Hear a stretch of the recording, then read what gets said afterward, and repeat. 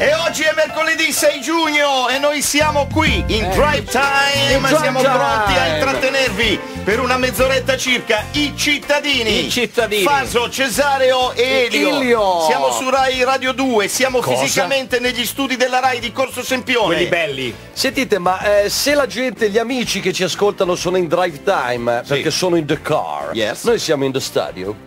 In the studio. In the studio. In the studio, Yes. siamo on air in the On studio. air. Oh, air in the yeah. studio. No, volevo entrare in una dimensione un po' moderna, perché parlare in italiano sappiamo è un, Bravo, po', bravo. è un po' deludente. Ma al giorno cosa è d'oggi. successo questo lo mercoledì 6 voglio giugno sapere. del 1944? non ne ho la minima idea. 6 giugno, 6, 6, quindi è un giorno in cui si è doppiamente. Certo. 6, 6. Sei, hai sei. capito? 6 6 Se, eh, e hai se il fosse parole. il 6 6 del non so 666 Porca. potrebbe essere un, un giorno Terribile, diciamo così indemoniato. Indemoniato. però comunque il No. 6 6 un po' indemoniato è da Beh, quello comunque- che sta per dirci Cesario Beh certo, perché nel 1944 avviene lo sbarco in Normandia, la Che più anno? grande opera 1944, 44. 6 giugno. Guarda qua, Il 6 giugno del 44 è il D-Day. È il D-Day, Ah, è il. D-Day che È il diventa giorno D. è il giorno D infatti Esatto, che diventa D- D-Day da quel giorno, perché normalmente quel D era un, un- un- Il D di festa, Esatto, un di- D di festa o un D speciale. Anzi, è il DD. Quindi. È il DD, Il D DD. è il DD. È il D, DD. cosa D? D che c'è questo sbarco in Normandia e eh, una delle caratteristiche eh, simpatiche, eh, noi ci lamentiamo delle previsioni meteo quando dobbiamo andare in Esatto. vacanza, che non ci andiamo perché prevedono brutto invece poi c'è il sole che spacca le pietre, anche qui succede una cosa simile, cioè Cioè? che i britannici sbagliano, sbagliano I perché- meteorologi? Sì, esatto. Sì, sì, ma le, ma le previsioni del meteo britannico Era- lo sappiamo sono e sempre state loro. Era una sì, sì. settimana di brutto tempo e soprattutto nel 5 e 6 giugno loro eh, avrebbero previsto però un miglioramento che, che invece non, Non fu c'è così. stato. Infatti anche nei film famosi vedi sempre un casino, onde altissime, un- difficoltà. Insomma, invece i tedeschi, che erano precisi, invece prevedono che c'è brutto tempo il 5 e il 6, soprattutto il 6. E infatti tengono un sacco di armate eh, lontane e quindi per assurdo poi gli è andata bene. ah, è andata hanno bene perso per- lo stesso. Hanno perso lo stesso. Quindi questo ci insegna che chi azzecca le previsioni meteo poi alla fine perde. Questo è il grande insegnamento che ci Esatto, dà esatto. il Quindi- giorno 6 giugno. Giugno, le Vai previsioni- con la vai! musica! No, non è così, vai con la Li musica. abbiamo visti con gli occhi e un silenzio. Ed era eccitante, eccitante Fiorella Fiorella Mannoia Mannoia. con Normandia, Normandia. Normandia. Di cui ricordiamo una strofa tagliata dalla censura Sì. che era Normandia, Normandia per piccina che, Che tu, tu sia, sia. io faccio uno sbarco in Normandia. Bravo. Ah, questo era il Eh, pezzo sì, sì, perché è originale. piccina la Normandia, però se ci arrivi con una quantità di truppe, di, di mezzi, dimmi. Ma No, no, continuiamo con le informazioni di servizio Esatto. pubblico sul D-Day, in No, italiano è il solamente, DD. Il è so- DD. solamente una cosa che magari non sapevate, Non che so tra i io. molti italiani che combatterono a fianco Ah, dei tedeschi contro gli alleati ci fu un- uno poi molto famoso, Chi? tale Walter Annichiarico. E chi è? Ah, io ho un'idea di chi sia. Il padre di Silvia Annichiarico? Secondo Tipo Walter Chiari. Walter Ah, Walter Chiari! Chiari! No, Ah, cioè fantastico. Walter Chiari è il nome d'arte di Walter Anni Chiarico. Non lo sapevi? Sì, sì, Lo sì. apprendo adesso, cari amici. E tutto questo grazie ai cittadini, ormai una delle pochissime trasmissioni radio di servizio pubblico, Pazzesco. vero? Pazzesco. Ti dico solo una cosa, uno che ho conosciuto ma non è nel mondo dello spettacolo, che si chiama Walter Scuri, il suo nome vero era va. Walter Anni Scurico. Anni Scurico. Anni Scurico. Sì, perché titolo, quando ti chiami Anni Chiarico o Anni Scurico tendi a modificare Ma il cognome Ma io so che il 6 giugno è accaduta un'altra cosa molto importante, molto più importante. Ma forse. forse per la nostra gioventù, perché nel 1984 in Unione Sovietica viene distribuita la prima versione di Tetris. Ok, Tetris. Forse qualcuno il di noi Tetris è stato inventato in Russia. Voglio fare questo.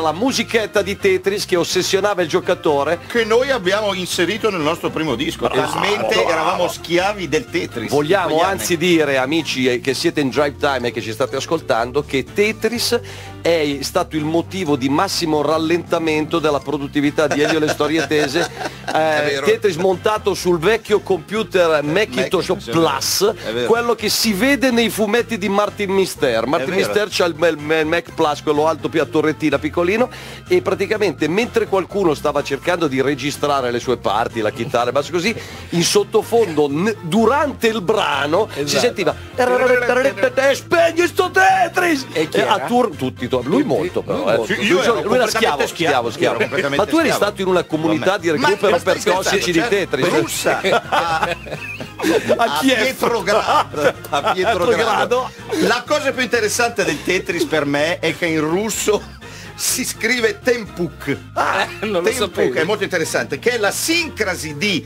Mimbruapurdino, cioè tetramino E e, tennis, e Mechuk che è tennis. Tennis, fantastico. perché è un tennis fatto di tetramini. I tetramini sono quelle forme Ah, sono quelli di lì, i cinque tetramini. quadri, sono i, te- i tet- tetrami, tetrami mi si sta Tetramini, ma vedo che c'è. Vai con la musica! Tetramino!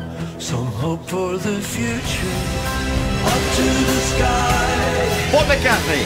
Hope for the future. Ah, wow, watcha gala, wow, Speranza wow, per il futuro, che è quella che noi dei cittadini diamo a tutti quelli che sono in auto Esatto, in drive time esatto. Ma è quello esatto. che sperava anche chi si è inventato il Tetris. Il Tetris, e parliamo di Alexei Leonidovic Pazitnov, Pazitnov che voi dite ha fatto un sacco di soldi con Sì, Tetris. anche perché leggo che il Tetris ha fatturato cifre iperboliche, 500 milioni di dollari in Esatto. pochi Beh, anni. a lui quanto- quanto ha incassato Allora, in rubli, l'ingegnere eh, Alexei. Leonidovic Pazitnov? Dunque adesso ti faccio il calcolo in rubli Te esattamente. lo faccio io, zero! Vai con l'interruzione.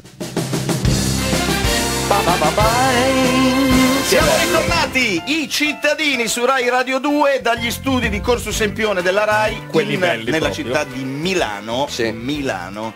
Oggi è mercoledì 6 giugno, stiamo parlando dei 6 giugni di tutta la storia Della storia dell'umanità, dell'uomo, della sì, storia sì, dell'umanità e abbiamo parlato del Tetris. del Tetris che, era- che è stato poi fratello anzi diciamo progenitore di tanti bei videogiochi io ricordo per esempio che al mare giocavo in una di quelle macchinette mangiasoldi a Space Invaders Mamma e ho- che era quello con i robotini che facevano trum, È vero? trum, trom, trom, e, e que- avanzavano. Ero dive- avevo speso così tanti soldi, ve la faccio breve, che una volta mentre stavo giocando si sono affiancati due o tre, cioè, affiancati due o tre ragazzini che volevano giocare Geno- di, di- di Re- Recco, Liguria, e dopo un quarto d'ora della mia partita uno ha detto Belen andiamo, questo qui è forte.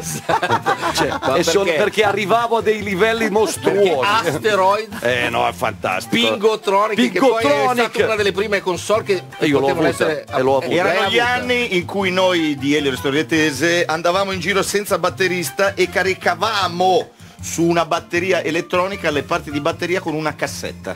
magnetica. Cassetta suonata dal registratorino di che cosa? Del Commodore 64. Ma di chi soprattutto?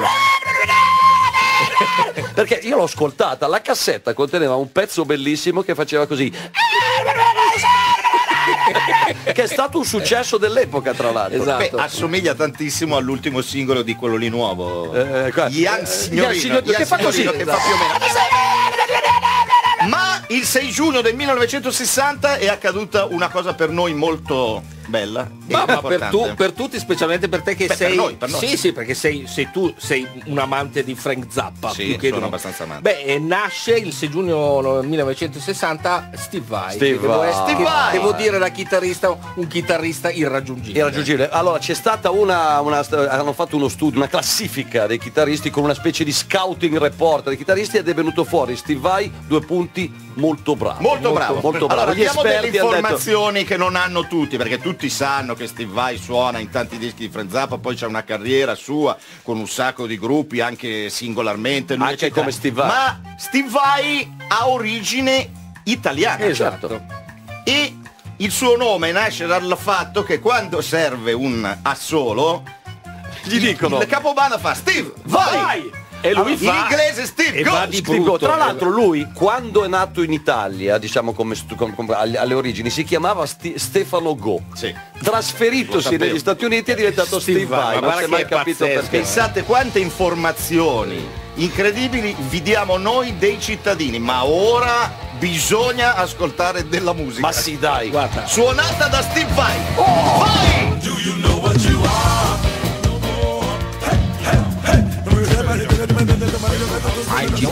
Siamo tornati, siamo i cittadini su Rai Radio 2, stiamo accompagnandovi nel vostro drive time. nella Potrebbe essere un guida, momento siete in- nervoso, No, no. No, ci siamo noi. Avete appena sentito della musica di altissimo livello, anche che fa molto ridere. Certo, you are what you is, You are what you eh, is. you is what you am. You is what you am, esatto, degli errori continui. E perché ci siamo arrivati? Perché abbiamo parlato di Steve Vai, un chitarrista fantastico di origini italiane che è nato proprio il 6 giugno del 1960, quindi compie 58 anni. Tanti auguri a te, Steve. tanti Tanti auguri, eccetera, Steve eccetera. Vai, tanti Ed è originario di Dorno, in provincia di Pavia. Ma pensa a te. Chi avrebbe mai Ed detto? è entrato nella band di Zappa quando aveva circa 20 anni, 20-21 anni. Pensate a un 21enne di oggi, concentratevi, in che band potrebbe entrare. Ma chissà che 21enne di calze indossava per esempio in quel periodo. Beh, in quel periodo lì, beh, sai. eh, Ah, tu mi, mi- mi chiedi le calze di Steve Vai. Steve Vai indossava i tubolari. I Sì. tubolari sono quelle calze tipiche della, da sport. Sì. eh, Perché danno, insomma, quelle bianche Basket, una volta. Le basket, esatto, i sanitari. Perché le calze dobbiamo ricordare che sono una- un argomento importantissimo. eh. Beh, e non solo per gli campi, amanti bravo, del piede. bravo. Perché dici gli amanti del piede. Ad no, esempio, il piede, qualche anno calza. fa erano una specie di soldo. Certo, di, certo. Tipo, Allora, cos'è? Anni 60, anni 70, 80, andavi in Russia. Eh. Tu ti portavi delle calze. Sì, ma perché faceva freddo? No, no, come No, no, moneta. Dici, hai dei rubli? No, ho delle calze. Ah. Prego, Pagavi entra. in calze e facevi all'amore. Ah, sì? Sì, sì, sì, è incredibile. Cioè, una moneta potentissima, neanche, cioè arrivavi coi dollari, non facevi all'amore. Ma- ma qui- in Bulgaria, esatto, Romania. in Romania, nell'e- nell'est Nell'est europeo, europeo, la calza Però facevi l'amore ma lei si teneva le calze Certo, sopra certo. perché è come se si togliesse dei soldi. Certamente, no, no, se- sempre con le calze. Tra l'altro, Lei aveva in tasca le calze. Ma pensate le all'importanza, soldi. Esatto, volevo dire, pensate all'importanza della calza nel, per esempio nella festa della, della festività della Befana. Fondamentale! Fondamentale. Ma lo sapete per esempio che non so, nella- la Befana viene festeggiata anche da popoli insospettabili. I cannibali festeggiavano la Befana. Sì? Solo che nella calza volevano trovare un piede. Ci Allora, perché stiamo parlando di calze? Eh. Perché il 6 giugno del 1985 è morto Pio Chiaruttini. Ma chi era costui? Lo era un sapere. grandissimo inventore di calze e nel 1953 ha depositato all'ufficio brevetti di Brescia l'invenzione industriale, dispositivo per l'esecuzione di rigature o punteggiature in rilievo su calze in genere da montare su macchine circolari a doppia alimentazione di filato. Capite? Elio, eh, Un scusami. rivoluzionario della calza! Vai con la musica! E lasciami appoggiare così piccola E siamo ancora noi, i cittadini, quando siamo in drive time il tempo vola e Vola, ci è arrivata una mail. Una mail Arrivano poche mail ma molto interessanti all'indirizzo i cittadini chiocciolarai.it. Prego. Ma pensa, allora, uno scrive Ciao a tutti, sono un ragazzo feticista, mi piacerebbe trovare qualche ragazza che mi faccia annusare le proprie calze dopo una giornata di lavoro. Sì, ma dopo Punto. la giornata di lavoro sua o della ragazza? Non Forse ho capito. di Sai tutte e che due, bisogna- facciamoci In rimandare ogni la Esatto, caso non lo sapremo mai perché abbiamo finito. Ci potete riascoltare su Rai Play Radio. Ora noi, come sempre, diamo la linea a Caterpillar con Sara Zambotti e Massimo Cirri. Ci sentiamo domani alle 6 su Radio 2.